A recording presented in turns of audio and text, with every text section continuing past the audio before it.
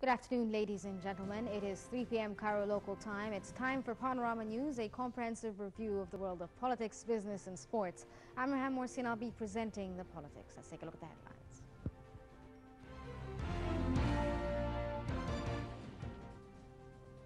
President Sisi meets former U.S. Secretary of Defense. Prime Minister Mahlab in Jordan for joint higher committee meetings. And two Saudi border guards die in Yemen shelling.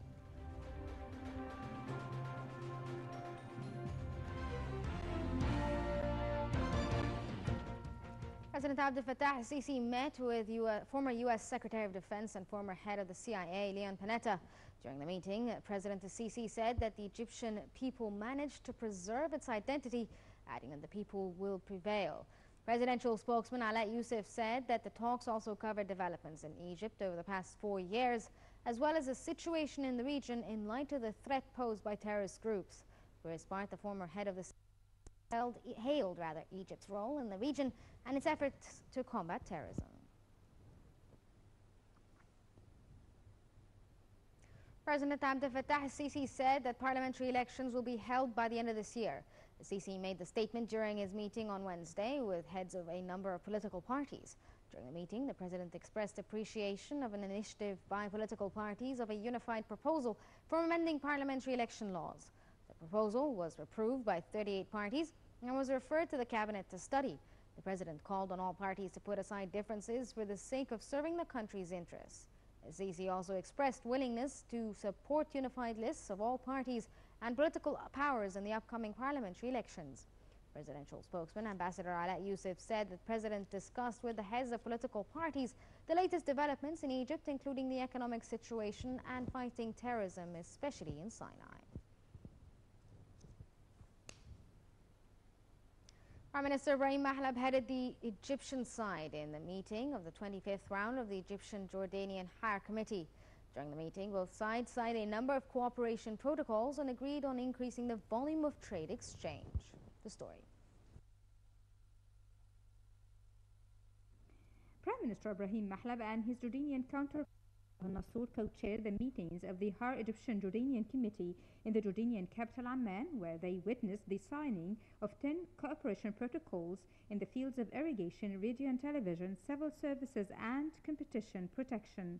During the meeting, both sides agreed on increasing the trade volume between both countries, as they also stressed the significance of the private sector as well as the importance of boosting investments in mega, medium and small projects. The committee also discussed coordinating political stances on a number of regional issues as well as efforts to combat extremism and terrorism in light of the present threats of Daesh and other terrorist groups. Separately, Prime Minister Ibrahim Mahlab met with Jordanian businessmen and Egyptian investors. The Prime Minister reiterated that Egypt's stability and security reflect on the whole region's stability. He also noted that Egypt is determined to carry out the third and last step of the roadmap, which is holding the parliamentary elections.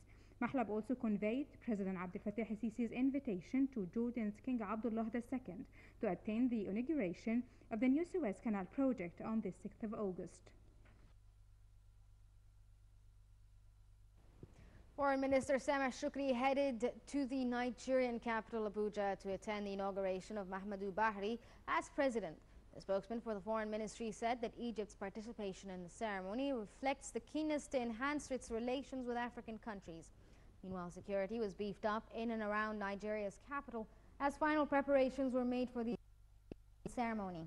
The 72-year-old who defeated incumbent Goodluck Jonathan in elections two months ago will be sworn in at a ceremony on Friday before world leaders and other dignitaries. Among those who have confirmed attendance are South Africa's President Jacob Zuma, U.S. Secretary of State John Kerry and Minister Laurent Fabius.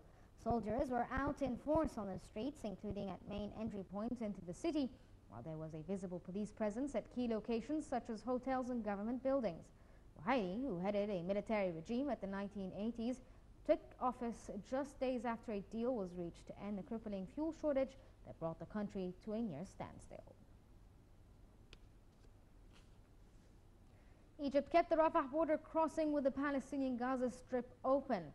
The authorities decided to extend the period of opening for third day to allow more stranded Palestinians across to the Gaza Strip.